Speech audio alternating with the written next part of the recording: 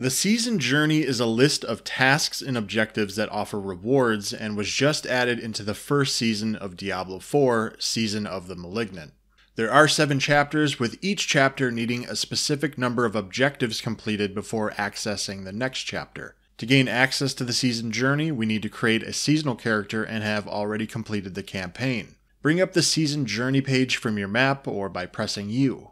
In the bottom left, we can see how many of these objectives need to be completed and what rewards are given when completing them. The first reward we get for completing objectives in chapters is favor. Not to be confused with Grim Favors, Blizzard just really likes reusing the same words for some reason. Favor is what levels up our Battle Pass. I will have a separate video on the Battle Pass. The most important thing to note is that all Battle Pass rewards are cosmetic, whether it's an outfit for your character, something for your horse, or a title.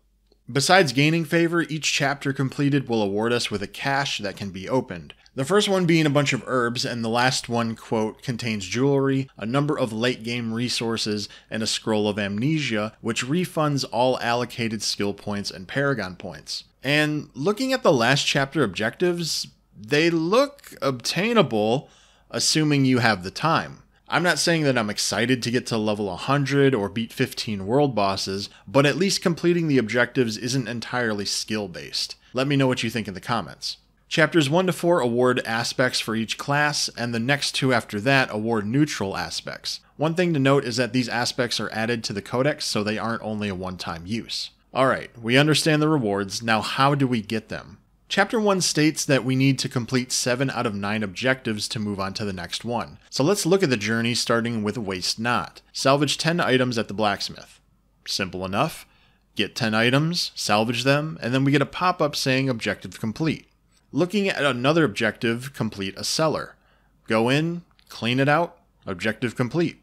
We continue this until we complete at least 7 objectives and then claim the rewards. Now we can move on to chapter 2, and we do the same thing for all future chapters until the season journey is complete. One thing to keep in mind is that the objectives can be completed before reaching the chapter that they're listed in. You don't have to get to chapter 2 and then clear 10 cellars to complete the objective. If you've already cleared 10 cellars by the time you get to chapter 2, then it will be automatically marked as completed after finishing chapter 1. So for my season journey, I'm currently on chapter 3, but if we go to chapter 4, I already have some of the objectives completed. So once I get to chapter 4, then these will automatically turn the 0 into a 2. If we go further into the other categories, I already have the Scourge of the Malignant. So you can already have these objectives complete. You just got to get to that chapter for the game to count it. This also includes people who still have to complete the campaign as long as your character is already seasonal. As soon as the campaign is completed and the season journey is unlocked, any objectives that were done during that time will count towards the season progress. And that's really what the journey is about completing tasks to get rewards such as aspects, late game items, or favor to progress the battle pass.